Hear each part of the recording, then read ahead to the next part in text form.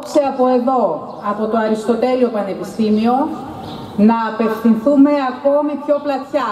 Έχουμε μέρες μπροστά μας στους νέους και τις νέες φοιτήτριες, στους νέους σπουδαστές, στους νέους ερευνητές και ερευνήτριες, αλλά και στους εργαζόμενους στα πανεπιστήμια, που προβληματίζονται για το μέλλον τους, για τους όρους σπουδών τους, όσο και για μετά το πτυχίο, για τη ζωή και το μέλλον που τους επιφυλάσσεται.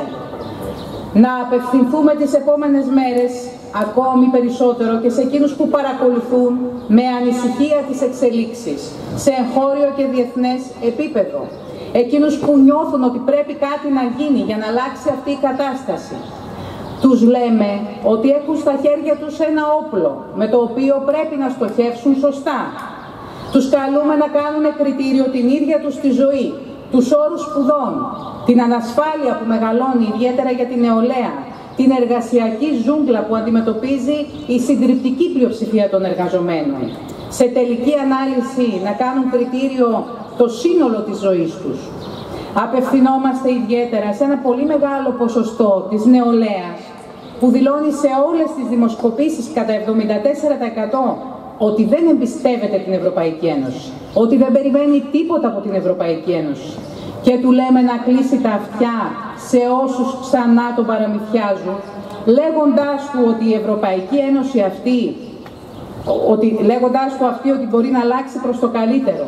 Τους καλούμε να πούν το πιο δυνατό όχι στην Ευρωπαϊκή Ένωση της φτώχειας, των πολέμων και της προσφυγιάς και το πιο δυνατό ναι στο κουκουέ, το ναι στην Ελλάδα και την Ευρώπη του σοσιαλισμού.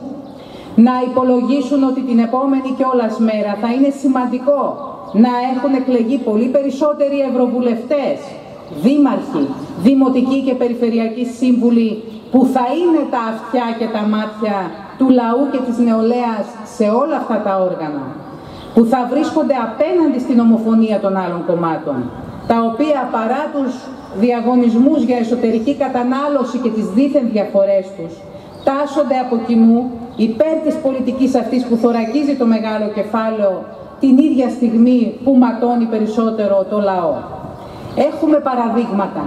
Είναι οι κομμουνιστές δήμαρχοι που είναι μπροστάριδες σε κάθε αγώνα και διεκδίκηση του λαού και της νεολαίας που τα βάζουν με θεούς και δαίμονες για να πετύχουν και το παραμικρό μέτρο ανακούφισης. Και τέτοια είναι τα παραδείγματα του Δημάρχου της Πάτρας, της Πετρούπολης, του Χαϊδαρίου, της Κεσαριανής και της Ικαρίας τα τελευταία χρόνια. Είναι οι ευρωβουλευτές του ΚΚΕ που με τις τοποθετήσεις τους και τις παρεμβάσεις τους αποκάλυπταν, ενημέρωναν τον ελληνικό λαό για το τι αποφασίζεται σε επίπεδο κατευθύνσεων από την Ευρωπαϊκή Ένωση με την ομόφωνη αποδοχή των υπόλοιπων κομμάτων. Καταψήφιζαν, αντιπρότειναν και πίεζαν για μέτρα ανακούφισης για τους λαούς της Ευρώπης. Κατήγγυλαν τον αυταρχισμό, την καταστολή των αγώνων. Να καλέσουμε όμως επίσης και κάθε προοδευτικό νέο που ανησυχεί πραγματικά από την άνοδο της ακροδεξιάς και του φασισμού να στηρίξει το ΚΚΕ γιατί είναι το μόνο κόμμα που τα βάζει με το σύστημα που γεννάει και θρέφει το φασισμό. Το κόμμα που και μπορεί και θέλει να κάνει πράξη το στίχο, το φασισμό βαθιά καταλαβέτων δεν θα πεθάνει μόνος, τσάκισέ τον, τσακίζοντας τη μήτρα από την οποία ξεπηδά, τον καπιταλισμό. Να αναδείξει το ΚΚΕ σε τρίτη θέση, στην τρίτη θέση γκρεμίζοντας από εκεί την ναζιστική εγκληματική Χρυσή Αυγή. Σκεφτείτε με ένα πολύ πιο δυνατό κουκουέ στις ευρωεκλογές η νεολαία θα μπορέσει να στείλει αγωνιστικό, αισιόδοξο, ενθαρρυντικό μήνυμα σε όλους τους λαούς της Ευρώπης.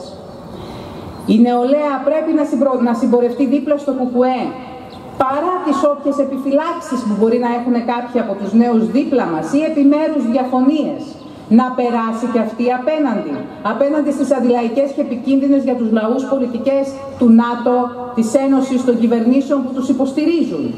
Γιατί μόνο το κουκουέ τολμά και τα βάζει με το σάπιο διεφθαρμένο σύστημα που τους παλεύει στα ίσα.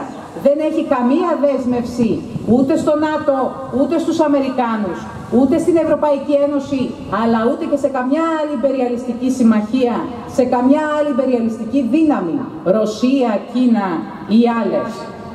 Βάζοντας την πραγματική προοπτική με την οποία οι λαοί μπορούν να ζήσουν με το πρόσωπο στραμμένο στον ήλιο, περήφανοι, την προοπτική του σοσιαλισμού, του μοναδικού τρόπου οργάνωσης της παραγωγής, χωρίς εκμετάλλευση ανθρώπου από άνθρωπο. Οι κοκορομαχίες που βλέπετε αυτές τις μέρες μεταξύ ΣΥΡΙΖΑ και Νέας Δημοκρατίας αποσκοπούν να τραβήξουν την προσοχή σε επιμέρους διαφοροποιήσεις και να αφήσουν έξω από το κάδρο της προσοχής ότι όλα αυτά τα χρόνια δεξιοί και αριστεροί, νεοφιλελεύθεροι και σοσιαλδημοκράτες, οπορτουνιστές μέχρι και οι ναζιστές εγκληματίες της χρυσής Αυγής και όλοι οι συνοδοιπόροι τους στην Ευρώπη, ο Όρμπαν, ο Σαλβίνη κλπ, η, η Λεπέν, όλοι από κοινού, υλοποίησαν μέχρι κεραία στο 90% των οδηγιών της Ευρωπαϊκής Ένωσης. Σε αυτό που διαγωνίζονται και εδώ η Νέα Δημοκρατία με τον ΣΥΡΙΖΑ είναι στο ποιος είναι ο καλύτερος εκφραστής των συμφερόντων για το μεγάλο κεφάλαιο και προφανώς ποιος θα μπορέσει καλύτερα να υλοποιήσει τις ανάγκες του κεφαλαίου στις νέες συνθήκες της ανεμικής ανά, ανάπτυξης, όσο και αν κρατήσει αυτή; Στο ίδιο αντιλαϊκό κότερο είναι στην πραγματικότητα συνταξιδιώτες, τόσο ο ΣΥΡΙΖΑ και η Νέα Δημοκρατία, όσο και το Κινάλ Πασό και τα άλλα μικρότερα κόμματα, όταν από κοινού όλα αυτά τα χρόνια υλοποίησαν τα μέτρα προς όφελος της οικονομικής και πολιτικής ελίτ, προς όφελος, προς όφελος των επιχειρηματικών ομίλων. Υλοποίησαν τα σκανδαλώδη αναπτυξιακά, φορολογικά και άλλα κίνητρα στο μεγάλο κεφάλαιο. Υλοποίησαν τις ιδιωτικοποιήσεις, τις οδηγίες της Ευρωπαϊκής Ένωσης που γενικεύουν την εργασιακή ζούγκλα. Μαλώνανε προχθές για την 7ήμερη δουλειά και την ίδια στιγμή εδώ και χρόνια υπάρχουν κλάδοι που δουλεύουν συνεχόμενα όχι 7 μέρες, αλλά 11 και 12 μέρες, όπως είναι οι νοσοκομιακοί γιατροί, όπως είναι οι εργαζόμενοι στον τουρισμό, όπως είναι οι εργαζόμενοι στο εμπόριο και σε μια, άλλους, σε μια σειρά άλλους χώρους. Ενώ από κοινού δεσμεύονται να εμπλουτίσουν το αντιλαϊκό οπλοστάσιο με φόντο το 2060.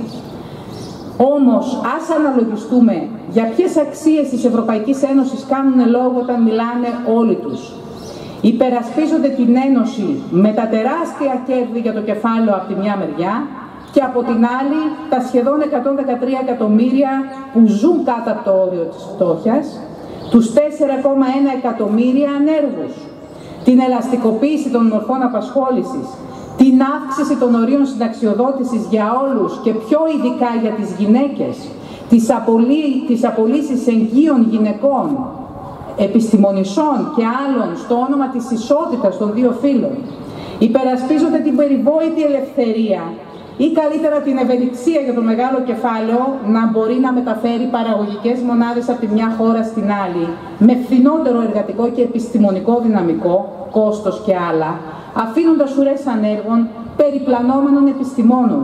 Η Κεντρική Μακεδονία έχει ζήσει στο πετσί της και ζει ακόμα τα αποτελέσματα αυτής της στρατηγικής. Μια σειρά χώροι, μια σειρά κλάδοι, μια σειρά εργοστάσια στην περιοχή έχουν κλείσει, έχουν συρρυκνωθεί κλάδοι όπως η κλωστοϊφαντουργία, έχουν ε, προϊόντα που είχε πάρα πολλά, με, τελευταίο χαρακτηριστικό παράδειγμα αυτός της ελληνικής βιομηχανίας ζάχαρης, δεν υπάρχουν πια. Αναγκαζόμαστε και εισάγουμε βασικά προϊόντα που κάποτε μόνη της η Κεντρική Μακεδονία μπορούσε να καλύψει τις ανάγκες για όλη την Ελλάδα.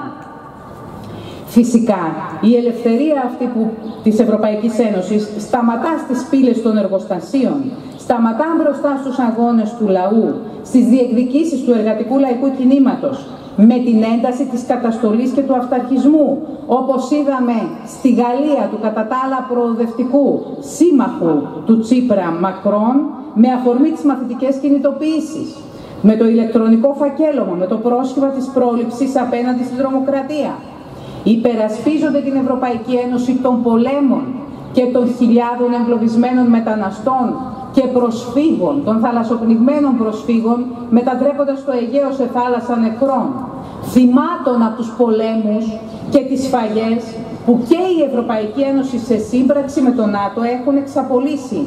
Εννιά πόλεμοι σε αριθμό μόνο την τελευταία 20 ετία. Η δημοκρατία που υπερασπίζονται βεβαίως υπάρχει αρκεί να μην φυγούν τα ιερά και τα όσια του καπιταλισμού. Έτσι έγινε ο Δούριος Ήπος για τη στήριξη ακροδεξιών καθεστώτων και την προβολή των αντίστοιχων ιδεολογιών σε μια σειρά χώρες, όπως στην Ουγγαρία του Όρμπαν. Είναι η ίδια η δημοκρατική ελευθερία που επιτρέπει να δίνεται βήμα σε ανιστόρητες και αντιεπιστημονικές προσεγγίσεις, σε διοργανώσεις συνεδρίων με στόχο την προβολή της θεωρίας των δύο άκρων, του επίσημου δόγματος της Ευρωπαϊκής Ένωσης και της ταύτισης φασισμού-κομμουνισμού. Και εδώ ακόμα, στο ΑΠΙΘΙΤΑ, σημαίνει την προβολή μαθημάτων με τίτλο «Θεωρίες ολοκληρωτισμού», στο οποίο τσουβαλιάζονται φασισμός και κομμουνισμός, Χρυσή Αυγή και Κουκουέ, ενώ η διατήρηση και η μη ανάκληση του ελόγου μαθήματος εδώ δίπλα στο πολιτικό της νομικής αντιβαίνει, όπως λένε, την ακαδημαϊκή ελευθερία. Οι απολογητές της θεωρίας αυτής προφανώς δεν θα απαντήσουν σε μια σειρά ζητήματα που συνηγορούν για το αντίθετο. Τι έχουν να πούν για το γεγονός ότι σε μια σειρά χώρες της Ευρωπαϊκής Ένωσης αναστηλώνονται μνημεία των ΕΣΕ των Ναζί τη στιγμή που γκρεμίζονται μνημεία κομμουνιστών, όπως έγινε στην Πολωνία με το μνημείο του Νίκου Μπελογιάννη. Τι έχουν να πούν για τις συντάξεις που δίνονται σε πρώην μέλη των ΕΣΕΣ την ίδια στιγμή που απαγορεύονται τα κομμουνιστικά σύμβολα σε μια σειρά χώρες; Τι λένε για τις επιθέσεις του Ιερού Λόχου μελών της Χρυσής Αυγής σε μέλη του Κουκουέ και της ΚΝΕ εδώ στην πόλη μας, στη Μενεμένη, τις επιθέσεις τύπου μαφιόζικων ομάδων στα γραφεία του κόμματός μας την προηγούμενη εβδομάδα στις ΣΥΚΕΣ με υβριστικά συνθήματα, τις θρασίδηλες δολιοφθορές σε χώρους προπαγάνδας της ΚΝΕ μέσα στο ΑΠΙΘΙΤΑ και στο Πανεπιστήμιο Μακεδονίας. Φυσικά, να τους πούμε και με αφορμή και από αυτό το βήμα ότι βεβαίως άκρα υπάρχουν, αλλά τα πραγματικά άκρα είναι από τη μια ο καπιταλισμός η απάνθρωπη κοινωνία την οποία προσκυνούν και απ' την άλλη ο πραγματικά καινούριος κόσμος, ο σοσιαλισμός, κομμουνισμός. Η κοινωνία δηλαδή στην οποία ο άνθρωπος θα απαλλαγεί από τις αόρατες αλυσίδες της εκμετάλλευσης. Ο φασισμός είναι το δεκανίκι του καπιταλισμού. Είναι σάρκα από τις σάρκες του και γέννημα δικό του. Και αν δεν παλέψεις κόντρα στη ρίζα που τον γεννά, δεν είσαι παρά ένας λογοκόπος αντιφασίστας. Εσείς εδώ στο Πανεπιστήμιο έχετε τη δυνατότητα να το ψάξετε. Ότι ο φασισμός ενισχύθηκε ιστορικά από τα μονοπόλια. Ισχυροποιήθηκε και ενίσχυσε με τη σειρά του την καπιταλιστική οικονομία, την οποία ποτέ δεν την αμφισβήτησε. Γι' αυτό και αποτελεσματική πάλι απέναντί του γίνεται όταν παλεύεις ενάντια στις αιτίες που τον γεννούν και όχι με όψιμα αντιακροδεξιά μέτωπα που φτιάχνει τώρα ο ΣΥΡΙΖΑ με όλους αυτούς που ασκούν ταυτόχρονα την ίδια στιγμή την άγρια αντιλαϊκή πολιτική και τον ενισχύουν αντί να τον αντιμετωπίσουν. Αλλά αγαπητοί σύντροφοι και φίλοι, οι ίδιες οι εξελίξεις που συμβαίνουν αυτή την περίοδο επιβεβαιώνουν όσα έλεγε το Κουκουέ προειδοποιώντας τον ελληνικό λαό όταν αποκάλυπτε το χαρακτήρα της Ευρωπαϊκής Ένωσης. Ότι δηλαδή είναι συμμαχία του κεφαλαίου, εχθρική για όλους τους λαούς προειδοποιώντας για τους αντιλαϊκούς σχεδιασμούς της Ευρωπαϊκής Ένωσης την εποχή που τα άλλα κόμματα πανηγύριζαν για το Μάστρι, πανηγύριζαν για το ευρώ. Και σήμερα με τους κομμουνιστές ευρωβουλευτές τους σταθερά καταγγέλει και αποκαλύπτει για παράδειγμα τη στρατιωτικοποίηση της Ευρωπαϊκής Ένωσης, τις επεμβάσεις τις οποίες οργανώνει ανά τον κόσμο, τη μόνιμη διαρθρωμένη συνεργασία που κάνει την Ευρωπαϊκή Ένωση ακόμα πιο ενεργά εμπλεκόμενη στα υπεριαλιστικά σχέδια για την προώθηση των συμφερόντων των δικών της μονοπωλίων έναντι των ανταγωνιστικών κινέζικων, ρώσικων και άλλων. Την ίδια στιγμή που όλα τα υπόλοιπα κόμματα καθησυχάζουν για τις εγγυήσεις και την ασφάλεια που δήθεν παρέχει αυτή η λικοσυμμαχία μέχρι και σχολές πρακτόρων φτιάχνουν. Και μάλιστα και εδώ έτρεξε πρώτος και καλύτερος και βασιλικότερος του βασιλέως ο ΣΥΡΙΖΑ να ζητήσει μία από αυτές τις σχολές να φιλοξενηθεί στη χώρα μας. Όχι μόνο ασφαλής δεν μπορεί να νιώσει ο ελληνικός λαός μέσα σε μια εμπεριαλιστική ένωση όπως η Ευρωπαϊκή Ένωση και το ΝΑΤΟ. Αντίθετα, πρέπει να νιώθουμε πάρα πολύ ανήσυχοι για τους επικείμενους κινδύνους στην ευρύτερη περιοχή που προκύπτουν αντικειμενικά από τους τεράστιους, από τους φοδρούς ανταγωνισμούς για τον έλεγχο των δρόμων, των διαμετακομιστικών κόμβων μεταφοράς ενέργειας, των εμπορικών δρόμων των, παραγωγικών πηγών. Καμιά ασφάλεια για τα κυριαρχικά δικαιώματα στο Αιγαίο και για τις διαφορές που υπάρχουν ανάμεσα στις ελληνοτουρκικές σχέσεις. Ο πόλεμος στη Συρία παρά την υποχώρηση του Ισλαμικού κράτους, συνεχίζεται με την παρουσία βάσεων και στρατευμάτων των Ηνωμένων Πολιτειών, της Ρωσίας, του Ιράν, της Τουρκίας και διασταυρώνονται τεράστια συμφέροντα για τη μοιρασιά της Λίας και την αποκαλούμενη ανοικοδόμηση της χώρας αυτής. Στη Λιβύη συνεχίζονται οι συγκρούσεις για τον έλεγχο της χώρας και των πλουτοπαραγωγικών της πηγών, με πρωταγωνιστές συγκροτημένα στρατιωτικά πολιτικά σχήματα, με διεθνή αναφορά και μέρος βεβαίως της επέμβασης όπως και παντού, Ηνωμένες Πολιτείες, Ευρωπαϊκή Ένωση, Ρωσία, Κίνα, Αίγυπτος, Τουρκίας. Κλιμακώνεται η σύγκρουση Σαουδικής Αραβίας και Ιράν στον πόλεμο στην Ιεμένη, αλλά και γενικότερα για τον έλεγχο της, της περιοχής του Περσικού κόλπου, στην Ανατολική Μεσόγειο και το Αιγαίο. Συγκεντρώνονται σημαντικές νατοικές αλλά και ρωσικές στρατιωτικές δυνάμεις πολύ περισσότερο από ποτέ. Στα Βαλκάνια επεκτείνονται οι στρατιωτικές βάσεις των ΗΠΑ και του ΝΑΤΟ. Είναι έντονος ο ανταγωνισμός ανάμεσα στις Ηνωμένες Πολιτείες, την Ευρωπαϊκή Ένωση, την Κίνα και τη Ρωσία. Σε αυτές τις συνθήκες ιδιαίτερο ρόλο παίζει ο γεωστρατηγικός ρόλος της Κύπρου. Ήδη από το ΝΑΤΟ αξιοποιούνται οι Βρετανικές βάσεις στην Κύπρο που έχουν εμπλακεί και στον πόλεμο της Συρίας με τις αεροπορικές επιθέσεις ΗΠΑ Γαλλίας Βρετανίας στους πολιτικοστρατιωτικούς σχεδιασμούς των ΗΠΑ, ΝΑΤΟ και Ισραήλ. Η Κύπρος λαμβάνει όλο και μεγαλύτερο ρόλο και δεν είναι καθόλου τυχαία, ούτε είναι φιλολογική η συζήτηση που γίνεται αυτή την περίοδο περί ένταξης της Κύπρου στο ΝΑΤΟ. Η κυβέρνηση ΣΥΡΙΖΑ, αλλά και η αντιπολίτευση του Νέα Δημοκρατία και Κινάλ, ωρεοποιούν την κατάσταση. Προσπαθούν να μας εφησυχάσουν, πως θα βγει και ο λαός ιδιαίτερα, να εφησυχάσουν το λαό, πως θα βγει κερδισμένος αν μείνει πιστός στις συμμαχίες που έχει επιλέξει η αστική τάξη με τις Ηνωμένες Πολιτείες. Δεν είναι τυχαίο ότι η προσπάθεια αυτή συμμορφώνεται προς τα υποδείξεις του κειμένου του State Department των ΗΠΑ για καταπολέμηση του αντιαμερικάνικου και αντινατοικού κλίματος εδώ στην Ελλάδα με την αξιοποίηση σειράς μη κυβερνητικών οργανώσεων, με την αξιοποίηση των επιστημονικών ιδρυμάτων του Διεθνούς Πανεπιστημίου, του Πανεπιστημίου Μακεδονίας, τμήματων του ΑΠΙΘΙΤΑ, στην προσπάθεια να ταυτίζονται οι στόχοι και οι απειλές των κρατών μελών του ΝΑΤΟ με εκείνους για την κοινή Αμερικάνικη πατρίδα. Από αυτή τη σκοπιά θα πρέπει να μας προβληματίζουν, να μας οργίζουν τα σούρτα φέρτα των διαφόρων προξένων των Ηνωμένων Πολιτειών, της Ρωσίας, της Γερμανίας, στα τμήματα του Πανεπιστημίου μας, όπως των πολιτικών επιστημών, όπως το ΠΑΜΑΚ, στις μισές σχολές του ΠΑΜΑΚ, ή Ισραηλινών προξένων στο τμήμα μουσουλμανικών σπουδών, δίνοντας άσυλο στο να χύνεται το επικίνδυνο δηλητήριο των υπεριαλιστών στα μυαλά της νέας γενιάς επιστημόνων. Φυσικά, αγαπητοί φίλοι και σύντροφοι, δεν πέφτουμε από τα σύννεφα, γιατί γνωρίζουμε πως τα πανεπιστήμια είναι παραγωγικές μονάδες επιστημονικής γνώσης. Τα αποτελέσματα της παραγωγής αυτής τίθεται στην υπηρεσία και στους στόχους εκείνων που έχουν στα χέρια τους την εξουσία, εκείνων που διευθύνουν την παραγωγή και τα κίνητρα που θέτει.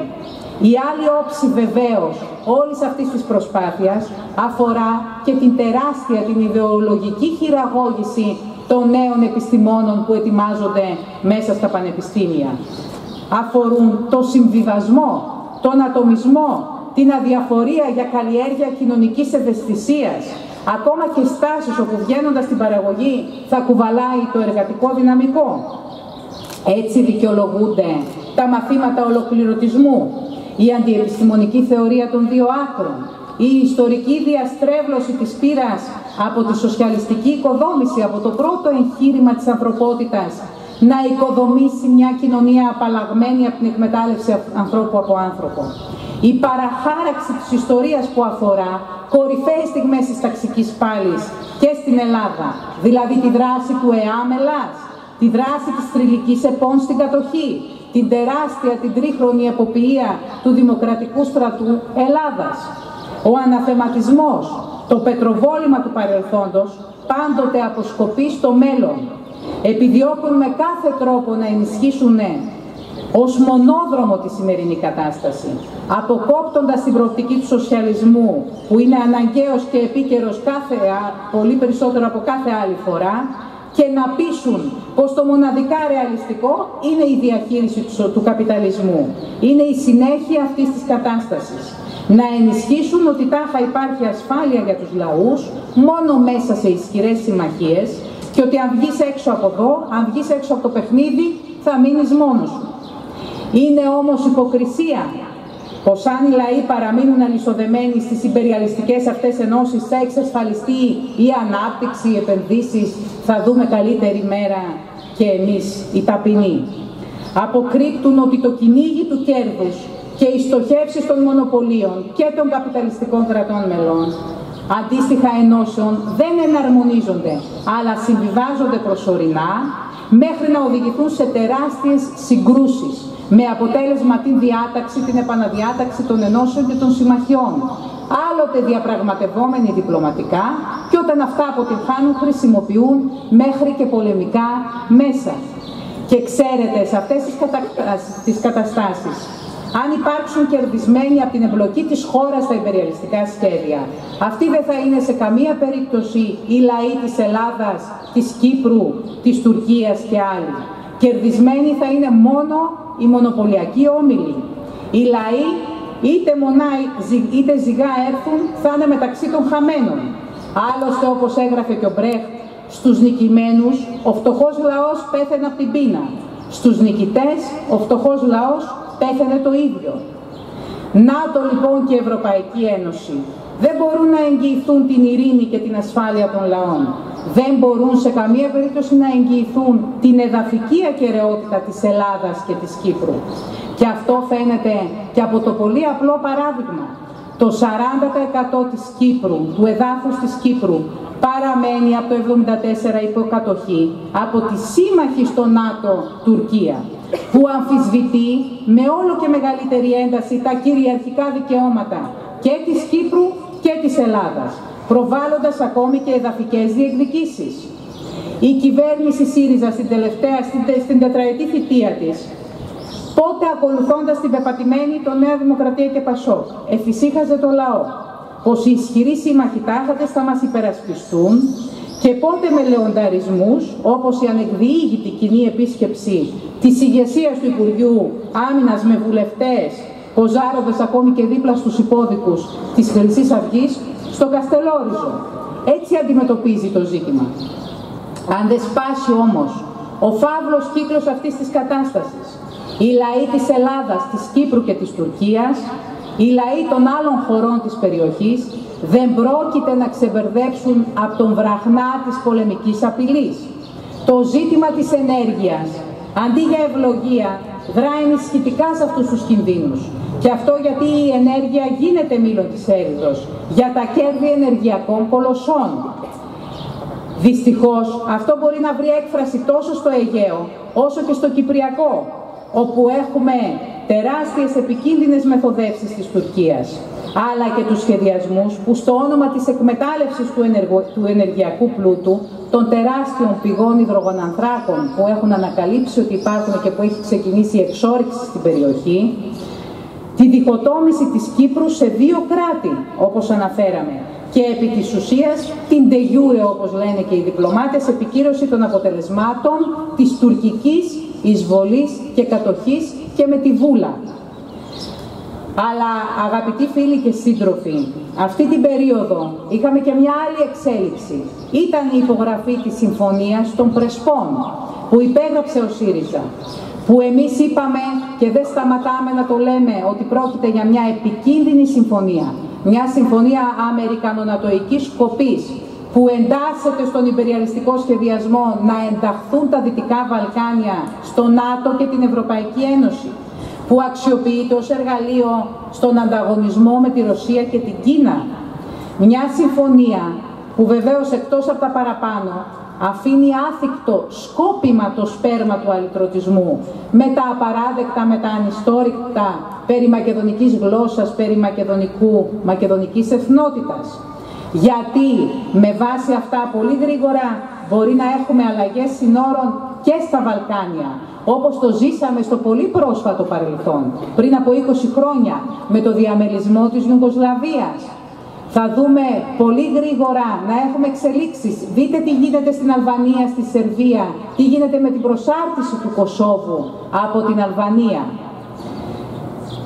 Γι' αυτό και η τοποθέτηση του κυρίου Τσίπρα και άλλων στελεχών του ΣΥΡΙΖΑ για χρησιμοποίηση της συμφωνίας αυτής ως μοντέλου αντιμετώπισης του κυπριακού προβλήματος αλλά και των ελληνοτουρκικών σχέσεων είναι ενταγμένη σε όλους τους γενικότερους υπεριαλιστικούς σχεδιασμούς.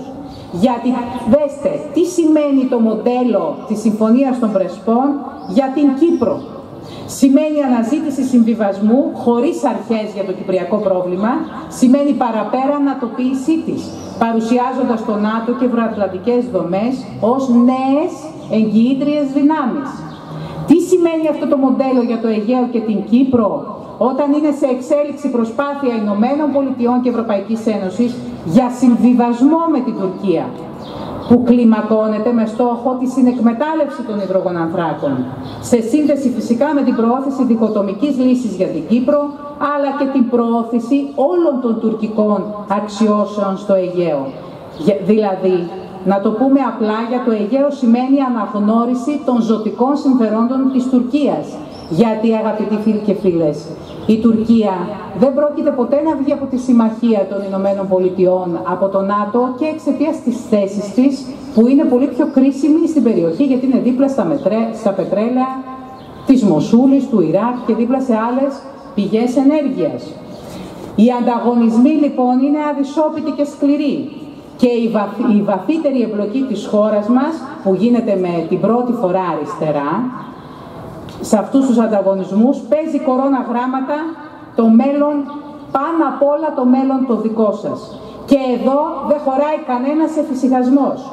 Η Θεσσαλονίκη, η Βόρεια Ελλάδα, σε οποιαδήποτε περίπτωση σύραξης, θα είναι από τις πρώτες πόλεις που θα γίνουν στόχο, στόχος, γιατί έχει το νατοϊκό στρατηγείο, από το οποίο διευθύνονται όλες οι επιθετικές αποστολές του ΝΑΤΟ, γιατί έχει δίπλα της Νέα Σάντα, με την αερομεταφερόμενη ταξιαρχία του ΝΑΤΟ. Γιατί όλη η Βόρεια Ελλάδα γίνεται μια τεράστια αποθήκη βάσεων, όπως γίνεται τελευταία η Αλεξανδρούπολη. Το ΚΚΕ λοιπόν είναι το μόνο πολιτικό κόμμα που λέει στο λαό την αλήθεια και για αυτά τα ζητήματα της εξωτερικής πολιτικής, κόντρα στις δυνάμεις που τον εφησυχάζουν, στις δυνάμεις που προσπαθούν να σπείρουν την υποταγή σε αλότρια συμφέροντα. Είναι ανάγκη λοιπόν να ενισχυθεί αποφασιστικά η φωνή του στις προσεχείς ευρωεκλογές, ακόμη και από εκείνους που διατηρούν επιμέρους επιφυλάξεις για το ΚΚΕ, που, δεν, που βλέπουν θολό το μέλλον, την προοπτική του σοσιαλισμού, τη δική μας ολοκληρωμένη πρόταση εξουσίας, αλλά αναγνωρίζουν την αναγκαιότητα ύπαρξης και ενδυνάμωσης της λαϊκής αντίστασης στις θύελες που πραγματικά έχουμε μπροστά μας. Επομένως, αγαπητοί σύντροφοι και φίλοι, στις 26 Μάη δίνουμε μια μεγάλη μάχη. Οι εργαζόμενοι σήμερα, οι νέες και οι νέοι φοιτητές, μπορούν με την πάλη τους και με την ψήφο στις 26 Μάη να καταφέρουν πλήγμα στον σημερινό αρνητικό συσχετισμό δύναμης που υπάρχει και σε εθνικό και σε πανευρωπαϊκό επίπεδο. Μπορούν να εξασφαλίσουν τις προϋποθέσεις για να δυναμώσει πάλι για τα εργατικά και λαϊκά δικαιώματα, για τις κατακτήσεις, για τις κοινωνικές κατακτήσεις, για να ανοίξει ο δρόμος για μια άλλη προοπτική, που θα εξασφαλίσει το δικαίωμα στην δουλειά, που θα εξασφαλίσει τα κοινωνικά ασφαλιστικά δικαιώματα, το εισόδημα, την αντιστοίχηση των αποφύτων με τον κλάδο της παραγωγής που προορίζονται, που προορίζεται το, να στελεχώσει το επιστημονικό δυναμικό, συνολικότερα τη βελτίωση των όρων ζωής των εργαζομένων. Και μόνο η ψήφος του ΚΚΕ μπορεί να θέσει τέτοιους όρους και να ανοίξει τέτοιο δρόμο. Το ερώτημα λοιπόν σύντροφοι και φίλοι που πρέπει να θέσουμε και που καθένας πρέπει να απαντήσει με φόντο τις κάλπες στις 26 Μάη είναι αν θα πάμε με το μια από τα ίδια ή αν θα το πάρουμε αλλιώς. Αν θα συνεχίσουμε στον ίδιο αδιέξοδο δρόμο της Ευρωπαϊκής Ένωσης, του σάπιου συστήματος και των δυνάμεων που υπηρετούν αυτό το δρόμο και που μας έφερε ως εδώ, ή αν θα αντεπιτεθούμε. Λέμε λοιπόν ότι το μήνυμα που πρέπει να δώσουμε μέσα από την κάλπη με το ψηφοδέλτιο του ΚΚΕ στις ευρωεκλογές, με το ψηφοδέλτιο της λαϊκής εισπύρωσης στους Δήμους και τις περιφέρειες, αυτό με το γαρίφαλο, ξέρετε εσείς, σαν αυτό που ρίξατε στην κάλπη των φοιτητικών εκλογών και ενισχύσατε την πασπουδαστική κίνηση συνεργασίας, είναι την επόμενη μέρα να δυναμώσει λαϊκή αντιπολίτευση. Να πάμε δηλαδή όλοι στις κάλπες με στόχο να ενισχύσουμε τη δική μας φωνή, να ενισχύσουμε το αντίπαλο δέος. Άλλωστε και βεβαίως το ίδιο κριτήριο ενιαίο να είναι σε όλες τις κάλπες, γιατί η Ευρωπαϊκή Ένωση είναι αυτή που σχεδιάζει, η κυβέρνηση υλοποιεί και η τοπική διοίκηση εξειδικεύει όλη αυτή την αντιλαϊκή πολιτική που αποφασίζεται και που βιώνουμε όλοι μας. Η ενίσχυση του ΚΚΕ αυτή την περίοδο είναι και ένα μήνυμα αντεπίθεσης και αισιοδοξίας. Είναι πολλαπλασιαστής των λαϊκών νεανικών διεκδικήσεων. Είναι μήνυμα ενθαρρυντικό για τους γειτονικούς λαούς να σπάσουν το φόβο, να σπάσουν την ανοχή της προβολής των φασιστικών και εθνικιστικών δυνάμεων στο εσωτερικό τους. Πραγματικό διακύβευμα λοιπόν των εκλογών για μας είναι αν θα κερδίσει έδαφος αν θα δυναμώσει ο πόλος αυτών των δυνάμεων που περνούν απέναντι στη σκληρή βάρβαρη πολιτική και στους επικίνδυνους σχεδιασμούς που ετοιμάζουν για τους λαούς.